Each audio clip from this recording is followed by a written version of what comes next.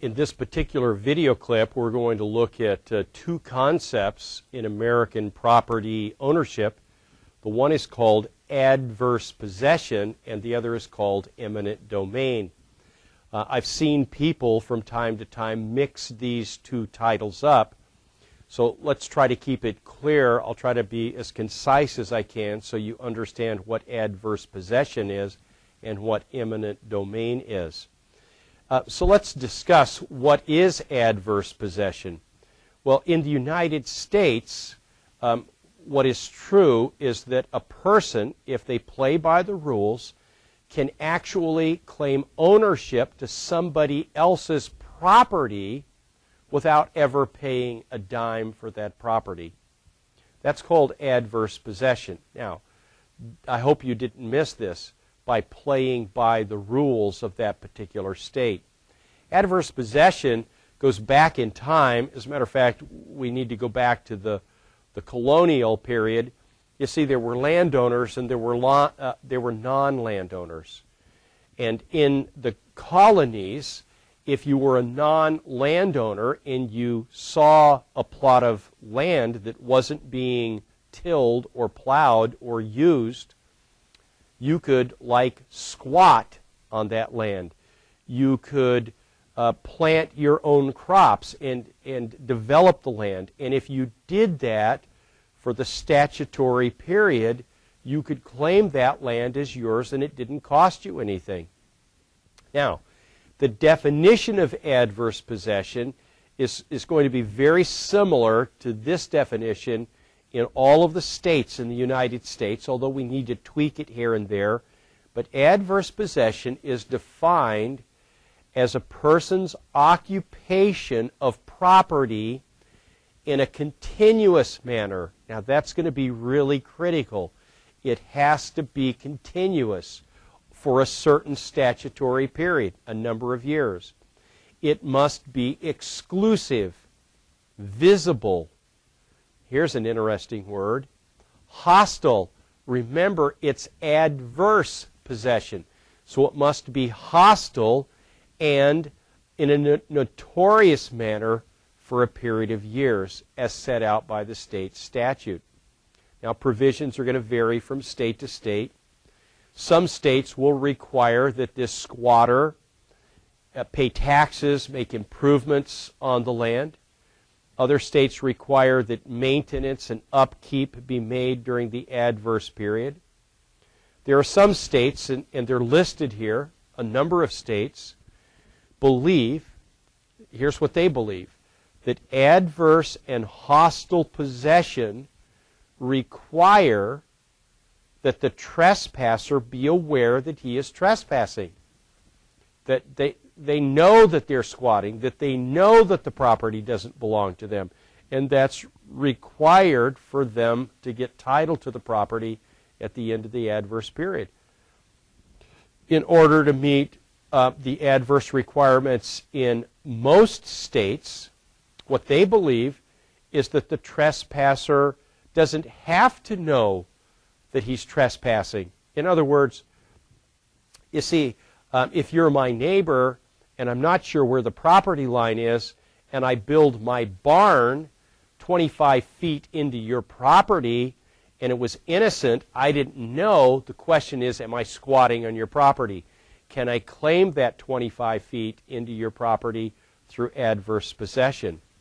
Now, there are other states like Iowa, Georgia, and Louisiana, and here's what they believe that the adverse and hostile possession require that the trespasser be completely innocent. Like I was when I built my barn on your property. I'm completely innocent.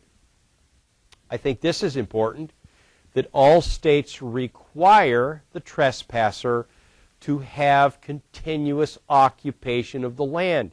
In other words, if in fact uh, you have a second home, you never visit it, and I'm homeless, and I decide to go ahead and live in your house as long as nobody's there, and the adverse possession length of time is, let's say, seven years, and I live there for five years, but for whatever reason I decide to go live in another place for a year, it stops the clock. I, if I come back to your house and squat in your house for another two years, you see, it hasn't been continuous. And so, in that case, I, I think that the clock starts, uh, the seven year clock starts again at the point in time that I come back and live in your house. If, in fact, the trespasser abandons the property for a period of time, or if the rightful owner successfully removes the trespasser, even temporarily, the clock will begin ticking again. That's adverse possession. Let's talk about eminent domain. Here's the deal in the United States um, the federal government, the state governments, the county governments, even city governments maintain the right, the right over everybody's property in the United States. I found this on the internet. Uh, I, I, thought it was appropriate, but you can see that um, uh, I don't know if it's the pilgrims or who it is. They're they're getting ready to land on the shore, and the Indians are looking out and they say, "I don't like the looks of this." Um, and what that uh, ship is saying is that they're going to claim the property through eminent domain. Uh, in the state of uh, Texas, in Dallas, a few years ago, uh, the owners of the Dallas Cowboys wanted to build a new stadium. The problem was that there were a number of homeowners that owned homes right where the stadium was going to fit or the parking lot was going to be, and uh, they didn't want to sell. So the owner of the Dallas Cowboys decided to go to the, the, the local government and uh, to convince them that it was really in the public's best interest if they don't sell that uh, the governing powers condemn all of these homes, uh, seize the property, kick the people off. We're going to pay them fair market value, they said, and then we can get our new stadium built. And this is uh, out of um, a newspaper clipping. It's dated Saturday, June 25th, 2005. And here's what it says Last week's ruling in the Kelo eminent domain case will be affecting Arlington, Texas residents whose houses are in the way of the Dallas Cowboys' new stadium construction. The Arlington City Council is expected to authorize on Tuesday eminent domain proceedings against as many as 19 properties needed for the stadium and approve rev- resolutions paving the way for 33 more condemnations in the coming week. You know, this part of property ownership doesn't quite feel so good to us when the state government can seize property.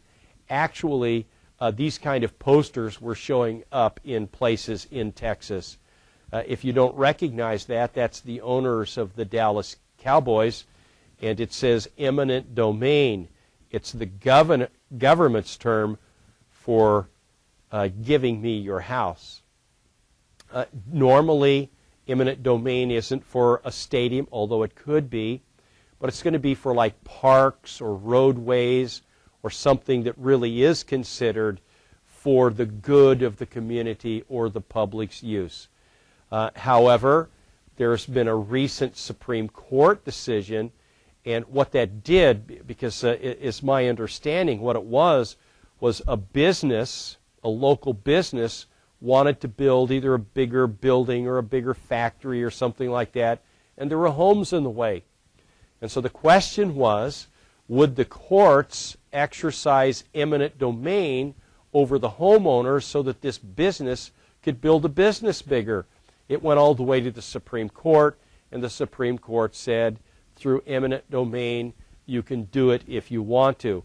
Well, what it did was it sparked outrage around the country. 60 Minutes ran a program on eminent domain. Uh, they had some attorneys that were there, and what the attorneys said this may be fascinating to you, but, but they, they said that they've documented over 10,000 instances of government taking property from one person to give it to another in just the last five years.